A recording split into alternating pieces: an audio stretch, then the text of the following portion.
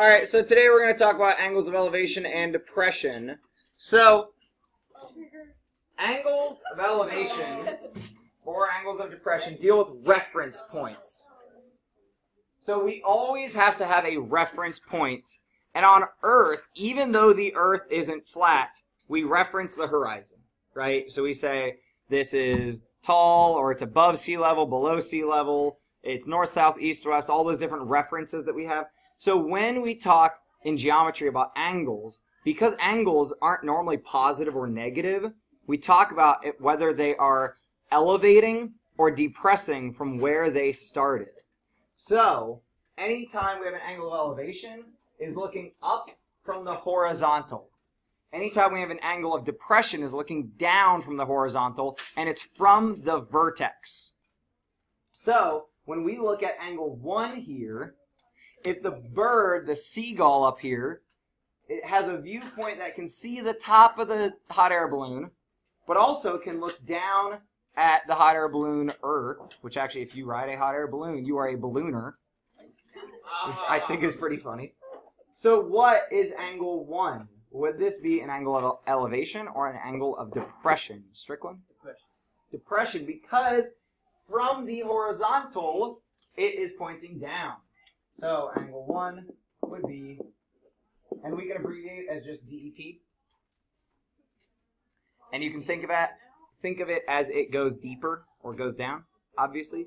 Caleb, what about angle 2? Uh, two. All right. Two would be uh. From the observer's elevating- viewpoint, Well, well, from the observer's viewpoint, being elevation. elevation, right? Because from the vertex, that's what you got to pay attention to. We've got a horizontal. Where's my other ray go? It elevates, goes up. So this is angle of elevation. Uh, Mr. Anthony, is this a lot more like practical math or like real world situation? I mean, all of it's practical. okay, but I mean like I mean like will, will a lot of these problems be like referencing real? Yeah, and then we use the trig and the special triangle knowledge in order to solve everything else. Cool. Yeah. So it's going to tie it all up into a nice, neat So, but, like, package. would you use any of these like?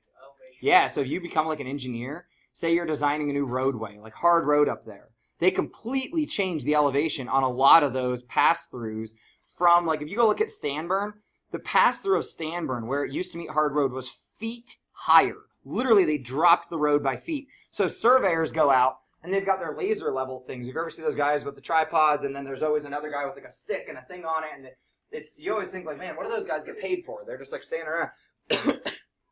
but they actually are doing a ton with what was the pitch, what was the reference point that we had marked. A lot of times there are reference points based off something like a, a telephone pole would have a reference point like nailed into it that would say this is elevation zero.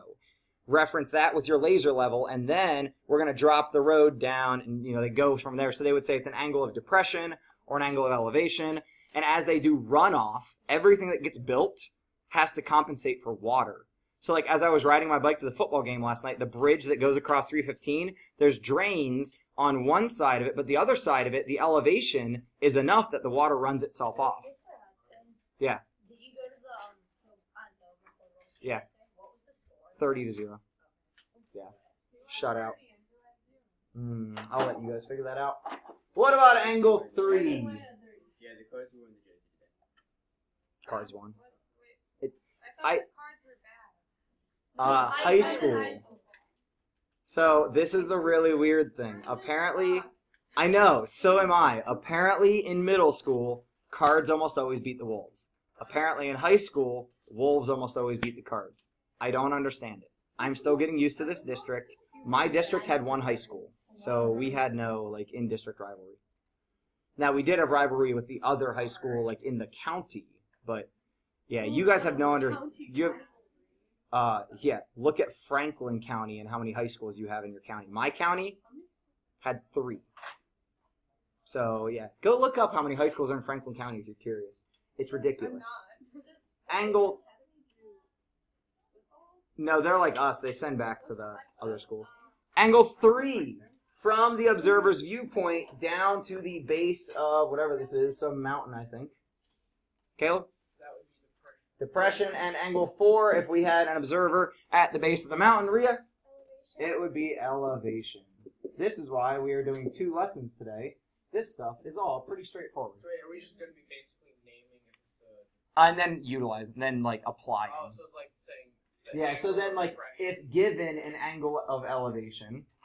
So if you've ever um driven on 270 the loop right up here by Sawmill, you've probably seen the giant windmill that is by that car dealership. That's not actually that big of a windmill. The ones that are out at like the wind farms are huge. So if we are at a wind farm, which when we went to Chicago, if you went there, we drive past the one giant wind farm there in Illinois. Um, we have an observer who is looking up to the top of the um, oh crap, I can't think of the propeller essentially, but it's not a propeller. That's the wrong word. And he has an angle of elevation of 56.5 degrees. His distance away from the tower is 53 feet, and he is five and a half feet tall, or his eyes at least are five and a half feet up. We want to figure out how tall is this wind tower. So, how can we apply the mathematics that we've learned over this past week to figure out the height of this tower? Trig! Woo! How do we use trig?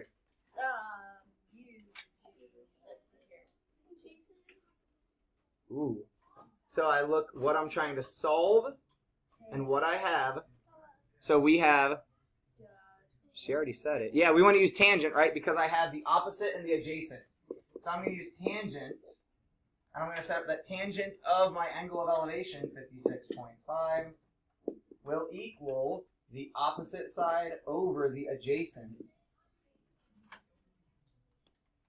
And this is still easy to solve because how the ratio is set up. I can really just cross multiply to solve for the x. Okay. I was gonna say, would it matter that he's five and a half feet up? Yes. I was gonna say, So- that means it's not, it's not a perfect- So notice I said to solve for the x, Oh. not to solve for the height. Okay. So when I do 53 times the tangent of 56.5, what do I get? You guys got to practice calculating these. 78.6. Now we are not done though. That tells me this value, but I want the entire height. Now, if I know that this is the angle of elevation, what do I know about this line, even if the picture doesn't quite look like it? Brian? It's the horizontal. So you're right. I'm just I just say it differently than you do. So it then when it tr- traces over to the tower tells me what do I need to do. If it's perfectly horizontal, let's say I go outside and I do this with a flagpole. We're actually going to go do this with a flagpole eventually. And I look at the flagpole and then I look up. What do I know about where I look at the flagpole? It's straight, which means that if I'm 5.5 feet, my eyeballs are 5. That point where I meet is 5.5 feet above. So to find the actual height, I'm going to add 5.5 feet and find out that the whole thing combined is. What do you get, Ethan? 80. Oh, never mind. I got the wrong thing. I, I read it wrong. What do you mean, never mind? I didn't know you had an issue. the. Yeah, I was gonna say his angle, his What? Thing is wrong.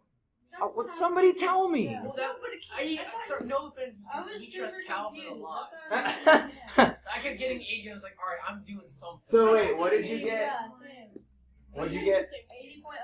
80.07. 80.07. Yeah. Careful when you type those in. Seriously, hitting the wrong calculator button will uh, ruin your day. I forgot the point five on the angle. Yeah, well, there you go. 85.57 feet tall. Which is still not that high. Like, these, the real wind turbines are pretty giant. We make a lot of That's what I was trying to think of. The top part's the turbine, or the turbine. Where'd you Yeah. get the 85? It's not big. Because this was the. Hey, hold up. We got a question. The x we solved for was only this amount of the tower because my eyeballs are not at the bottom of the tower. Now, if I like, if I wanted to only be able to do the trig, what I would have to do is like lay on the ground and be like, well, how high up? And that's really annoying. So instead, you say, how high are my eyes? Add that to whatever I get for my trig, because where I hit the the tower part is 5.5 feet up. Does that make sense? Yeah. Yeah, my eyeballs would be higher than that. My eyeballs are probably about six feet. Yeah. Uh, also, um, what is the point of like using elevation and depression? Like, how is this whole thing? Like, can't you just do it like without? because to have an angle of elevation or depression, it has to be referenced to the perfect horizontal. Because any just angle, I don't know if I'm looking like from the bottom of the flagpole to the top of the flagpole. Like it has to be a right angle to do trig. So angles of elevation and depression, you know there's a right angle because the horizontal. Does that make sense? Huh? Wait, okay. I'm confused. Like, why? What is the point of knowing angle elevation for relative? just to reference, that's a really, really simple problem to get you started. Just so that if you were reading somebody's plan, let's say, so back when I did landscaping, talk about this a lot. Let's say I was brand new on the job and I'm reading a plan and they say standing from our reference point, because we always have a reference point where we put our laser level, they say we want a three degree angle. Well, if my patio slopes this way versus slopes this way, that's a huge difference. Because if I slope it this way away from the house, water runs where it needs to. If I slope it this way towards the house, you're going to get water in your basement. So, angle of depression versus angle of elevation makes a big difference. So, if that person wasn't there to talk to me, I'd need to know what they were talking about. Off the horizon, angle of elevation, come away from the house, make the high point at the house. So, that sort of application. Lynn? So in our calculator, we essentially look at this as a proportion, and I cross multiply to solve for the trig. So I get 1 times x equals 53 times that tangent of... Hey, some of us are trying to have class over here. I know, that's why it's funny, because I'm always super loud. All right, let's move on to, to number two, or the got it. Hmm? Well, hang on to it for a second. So, your eye level, let's say I'm the person in this problem now, your eye level is six feet above the ground. You are looking at a climber up a cliff, which this could be me, 32 degrees above, and actually they, especially if you go into the military, which I love the military still uses the same technology they've been using, if you have a real military compass, there is a like you can flip it open and tweak it around that you can actually figure out angle measures of like what you're looking at based off a mirror and the reflection that sort of stuff. So if i had a compass not like a mathematical compass but a actual compass i could figure out where that climber is. So i could figure out this angle of elevation of 32 degrees. I know that i'm a thousand feet away from him. Or or her if you know if, but most of the time if you're climbing a rock face you're probably a guy because you're dumb um, I mean, when you climb rock faces, there's a large potential for danger. How do we calculate how high they are? Well, one thing that you should immediately think of is they are going to be an extra six feet high off of whatever I saw for my unknown value. Yeah. The way you wrote it looks like 76 feet. Yeah, sorry, this is like the the distance from ground to the start of your line of sight is a six foot difference. So then we need to solve for x. Now we've gotten really lucky so far with how our trig gets set up. Um, and we'll get lucky again if we set it up the same. So I actually am gonna, uh, we'll get to the hard one. The, the thing I'm trying to get to is where if we had tangent, let's say of 32, again here we're going to get x over a thousand and we can just cross multiply because this is really like over one but what if we had and this is wrong a thousand over x Rick?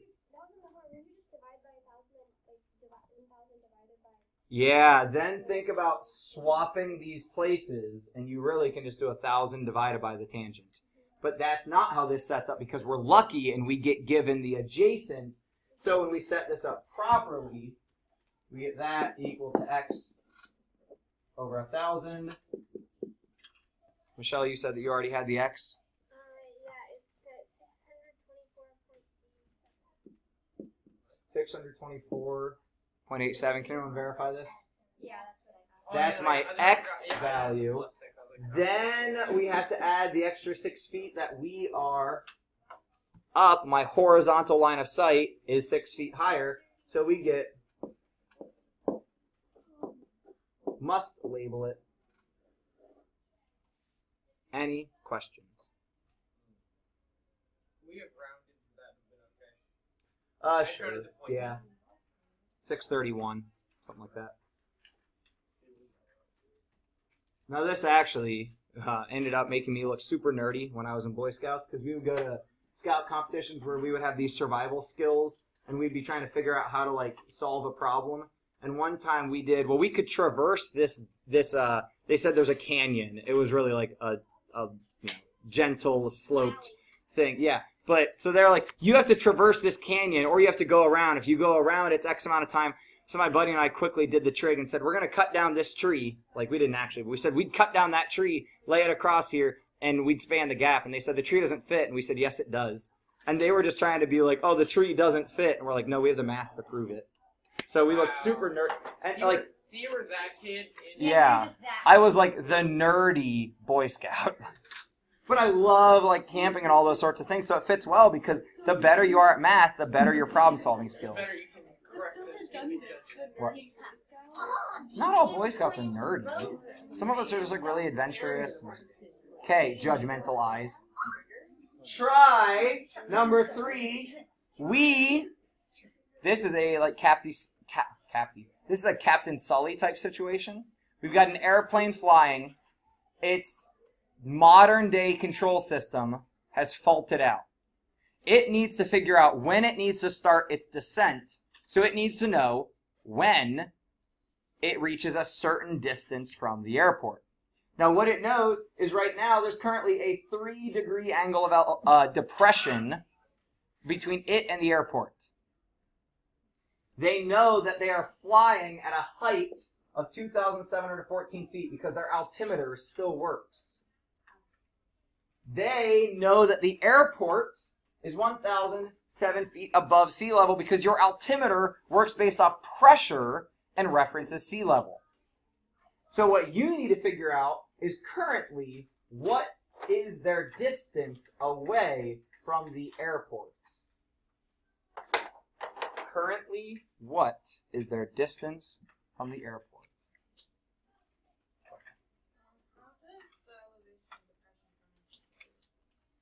Um, so th- this is just giving us the, the reference point of which angle we're using. Really, like I was saying earlier, it more comes into play when you get into application of like you're doing a project and they reference an angle and you need to know whether the angle goes up or the angle goes down. So let's say we're taking like a bridge across a river and they say this bridge is going to have an angle of three degrees as it approaches the middle. Well, is that an angle of three degrees dip or is that an angle of three degrees rise? So is it Wait, elevation can we or is assume that depression? it's a right triangle? Well, if it's well, an okay, angle of stress it has to be. if it's an angle of depression, we know it references the horizontal. Okay. That's so that's the other reason why we use the name is then we know it's a right angle, like a right triangle. Wait.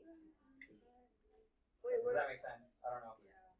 So it's not that important until you get to the application. Uh, like in your life, depending on what career field you go into. Oh, but not like in this math. like so this i could just tell you there's three degrees.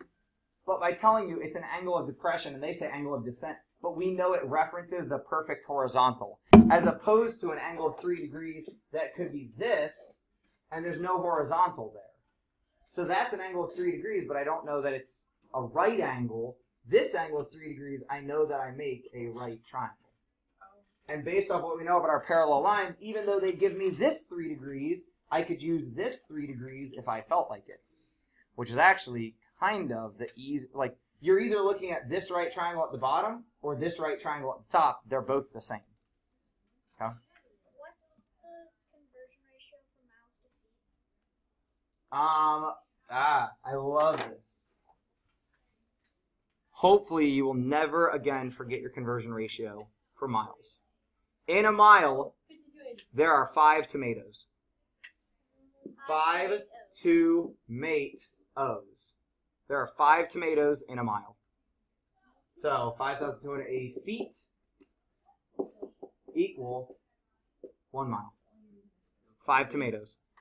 I never knew that until about two years ago. A student told me, and it blew my mind. Wait, what's the You eight? never The eight is the tomato. Five to mate O. Five tomato. If it helps you remember. If not, forget it. But if it helps you remember, it helps you remember. Who can walk me through this? You think your process is flawless, Michelle? More or less, but um, so um, it says that the airport is 100 uh, uh, or 1,007 feet above sea level. So the height of um where the airplane is in comparison to the airport is uh or like Yeah, the difference. yeah the difference is uh 1,707. 1707. Yeah, and so uh, I did uh, sine, but I did like because you had the uh, you had the opposite and not the hypotenuse. Like I did like going up from the airport to the. You can't use you can't do opposite because you don't have jobs. No, no, no, no, I did like I did like using it like this triangle instead of. So were you solving for the hypotenuse or for I was the? solving for the hypotenuse. Yeah, we're we're gonna solve both. So you were solving for the hypotenuse. So you're solving the raw distance right here, right? Yeah. So you use sine. So what did you set up for sine? Did you use sine of three degrees? Uh, yeah. So you did sine of 3. Sine equals opposite over hypotenuse. So regardless of whether I use this 3 degrees or this 3 degrees, they're the same. So my opposite is 1707, and my hypotenuse, we don't know it, so I'm just going to make it h. We then, this is one of those more difficult situations. To solve for h, this becomes 1707 divided by the sine of 3. And what do you get when you solve that? Um, I got uh six point two miles. Well, three uh, thirty-two thousand six hundred and sixteen. So approximately 6.2 miles. But that's the distance between the plane and the airport. If we want to talk about horizontal distance, we then use a different trig function to solve. Wait, Why is it miles? Because they asked us to do it in miles. So we get our answer in feet. Yeah. So that answer, as um, Michelle just told us, was I'm just verifying your math, just for my own confidence, was 32,616 feet. Then you divide that by five tomatoes, or 5,280, and you get 6.17, which rounds to 6.2. Now, if I want to solve for this distance from the airport, which trig function would I use there? Megan? Tangent, because I know the opposite is 1,707, and I know that the adjacent. Yeah, be careful with what you're actually looking for and what you know. Yep. What are we doing? Like, what is the clue? This is solving for this distance, which should be less. Should be, right?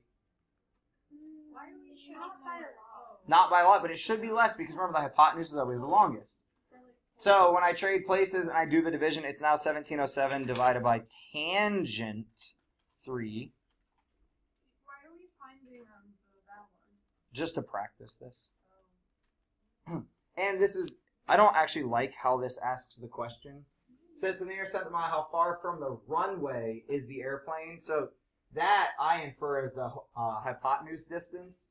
But if we talk about how far the plane is from the airport, just like ground distance, this actually in miles for the adjacent side there comes out to be 6.1688, whatever, whereas this was 6.17 something. So they're very very close. But that is slightly less. So when we're talking miles, we're going to get very close answers. But it was really a difference of 571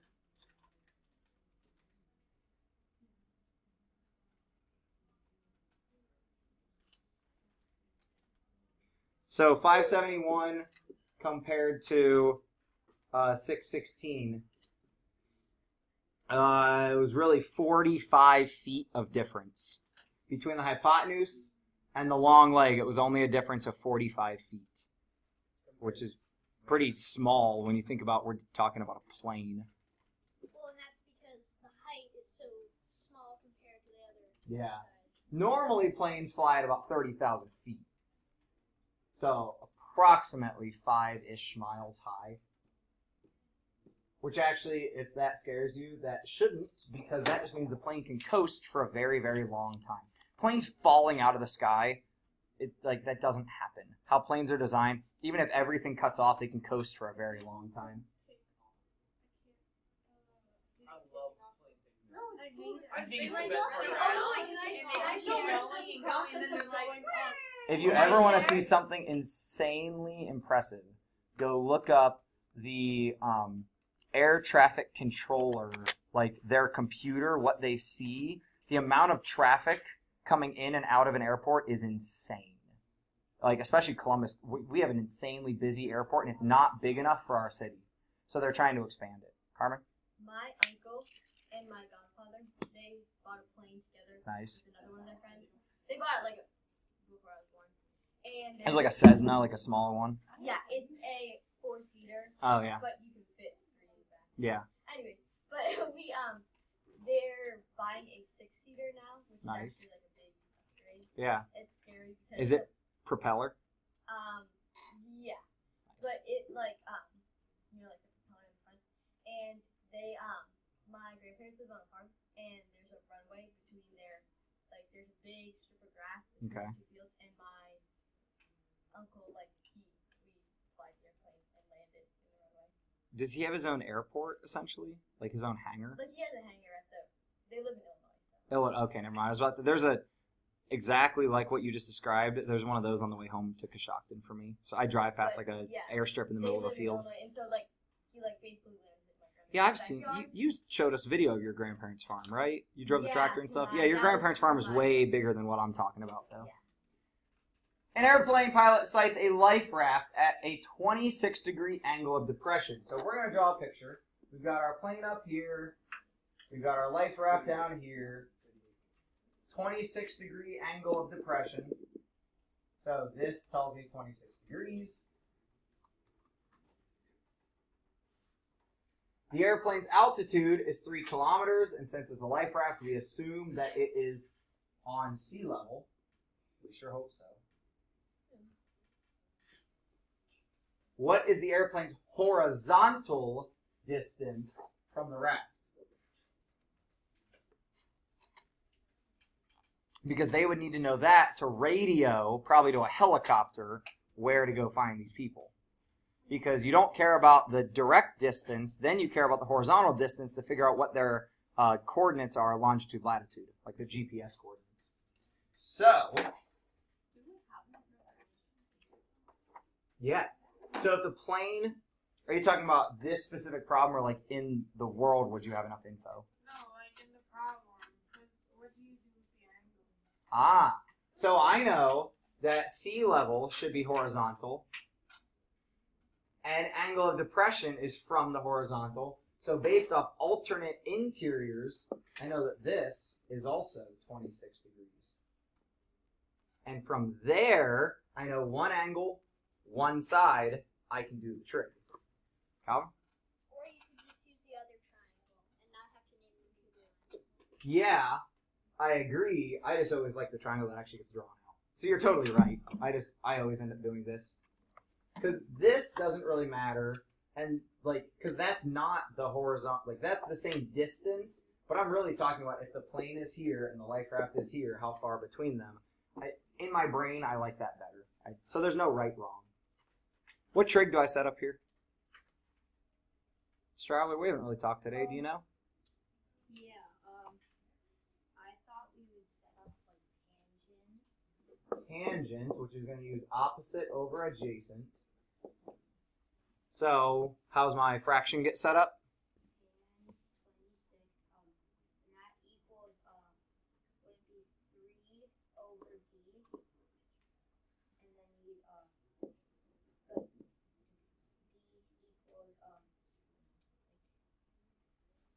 So if I showed out all of the work, this would be 1d equals, um, or sorry, this would be d times tangent of 26 equals 3, and then I got to get d by itself, so I really have to divide by tangent of 26. uh, And that's how I get to the point of my opposite side Can you maybe divided. convert kilometers to meters just so I make it. I, I can always convert later. me, it looks Because it's metric, it's really easy to convert anytime. Yeah, because like if I should have converted earlier, it doesn't matter because it's only a three decimal place change. Like, because it's multiplication. So it's okay if you put it Sure. and then change it back. Yeah, you're just gonna get bigger numbers as opposed to smaller numbers. Like So, do you have the answer, Carmen? yeah. What is I it? think it is 6.2 rounded to 10. Like, do you know that that's I think so. I agree with her. Okay, good. I know that that's the answer. Let's check this without any tech. If this was a 30 60, because this is 26, so actually this is drawn probably more acute than it actually is. If it was 30 60, how would the short side long side compare? Or what compares how? Making you remember those 30 60 90 rules. Flip back in your notes if you need to. What is it? Sorry, say it loud. The what? Short side to the long side is times root three, and then short side to the hypotenuse is times Don't worry, that's okay. Yeah, root 3. I mean, you can just say root 3. You literally can. gonna say that. So, this makes sense because it should be slightly over double with the angle comparisons that we have. So, always if you're questioning yourself, just kind of look at it from a different lens. Now, we then get into using this trig to be able to calculate the area of any regular polygon. Because in a regular polygon, all I really have is a bunch of congruent triangles. So, if two figures are congruent, their angles are equal, that's a pretty obvious proof. But the area of your polygon, this I think you've seen before. Oh yeah. What? Oh, I should have covered it up and seen if you guys would remember. What's the apothem actually mean? This weird word apothem. Because the area of this polygon is one half the apothem times the perimeter. Calvin? Is it the line from the center point to the perpendicular to the side? Mm-hmm. So, it's essentially like an altitude, right? Wait, is that the for- formula for any polygon. Yep. regular? Any regular polygon, yes. So, this apothem is the distance from your center point out to your edge, but it has to be perpendicular.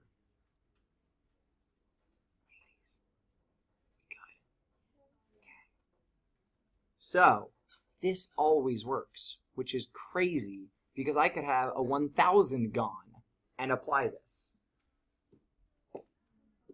So, this is how we would set up a problem like this. Now, it's not completely done, but if you are given a pentagon here, we can find the interior angle measure because we know the entire interior would be 360. I know that that gets broken up among five portions. 360 divided by 5 tells me each interior angle is 72. Now, the problem with calculating that is that 72 is really the entire thing, and to make a right triangle, we really have to cut that in half, drop the apothem. I don't know why they drop the apothem at the weird one, but if you want to draw it yourself, I would just drop it straight down and give yourself a little label that that's going to be the apothem. So to find that unknown angle, which they label as angle 2, we just cut our angle 1 in half. So angle 2 is going to be 36.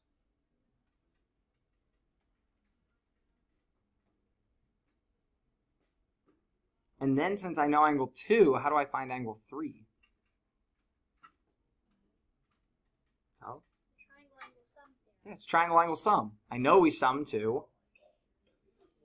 180. 180. So since I already have the 90 degrees, I know 36 needs a complement with it. We need to complement 36. It's kind of feeling down today. What's 36's complement? What is it? 54, right? So measure of angle 3 would be 54. Then what is one piece of information they could give me that would kind of snowball and let me solve the whole thing? Yeah, so if I knew this side length, say they gave me that this was some length z, I could solve everything from there because I could chop that in half and I would know this length, which would then let me solve for the apothem length using the trig. Hold on. If I had, instead of the side length, if I had the apothem length, can I solve for the side length? Yeah, just using the trig. So whether I have the side length or the apothem length, I can solve all of the other pieces parts of the triangle. Or the, well, really polygon, but the first thing we look at is the triangle. Caitlin. This is kind of a quick question. Okay. I don't think you can answer it. If you know like the side of like the short side of the right triangle, right? Up on that screen. This, Yeah, right here. yeah, Could you, could you assume that it's also half of it because the apothem has to be the bisector. So Alright, yes. Yep. So, and I'm going to give you two homework sheets. I'm not going to be here Monday. I started saying this earlier, but I uh, did not finish my thought. I'm at the WEC. So, my thought is I will uh, have the sub go over all the homework answers for you guys just so you can check right, wrong, and see if you have any issues. And um, I'm not totally certain exactly what we do. I don't want to give you guys the mastery yet, obviously, but we're at the end of chapter 7. So I'll probably give you guys some sort of review, Wait, it only goes something. To five? Yeah, that's it. This chapter, this is it. When's the test? Sometime next week. I need to look at the plan and see what we're doing. One of the days next week, we're doing a safety drill, doing the Alice stuff. So, so I gotta, after staff meeting today, I should be able to schedule out all of next week. This test going to No. Like, we've passed grade deadline. Like, grade, or uh, assignment deadline for seventh grade at least was Wednesday. Yeah, we cut off. At the right. Sorry, what? We're cutting off on the next week. yeah, we're cutting off on the 14th. We have, yeah. Yeah, grade deadline is Friday. So 14th is grade deadline. We cut off um, assignments a week and a half out so that they can get, like, they have the rest of this week and the whole next week to turn stuff in. At the right, a portion of a regular octagon has a radii. Now, wait a minute. An octagon can have a radii? I thought circles had radii. It's also a unit. Right? Mm, no, that's radian. Oh, I was close.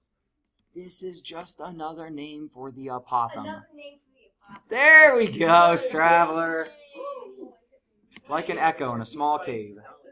Why does it say radii and an apostle? Ah, so To confuzzle you. hold up. This is the danger. The radius, and I, I think I really said that statement. I was getting excited and I said that incorrectly.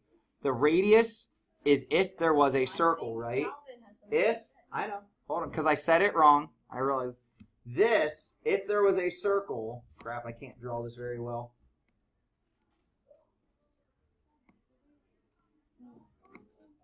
I didn't mean to say apothem.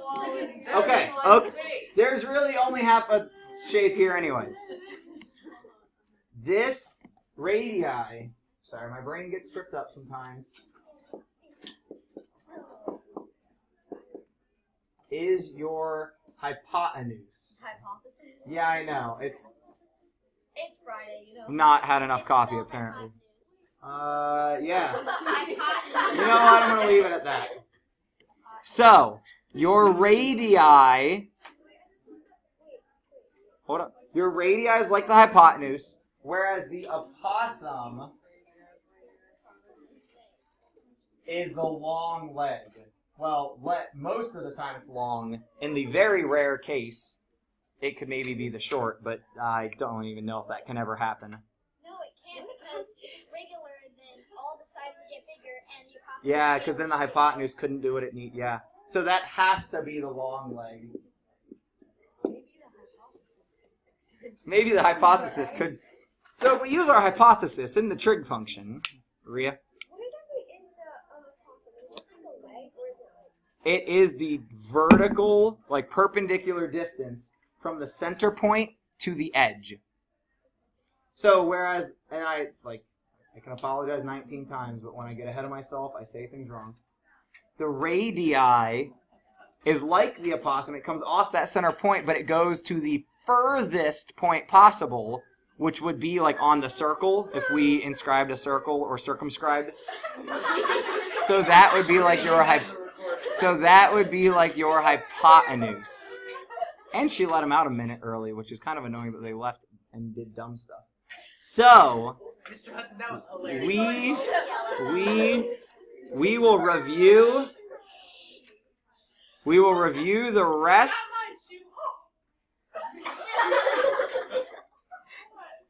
So, I'm glad that you guys are going to AO.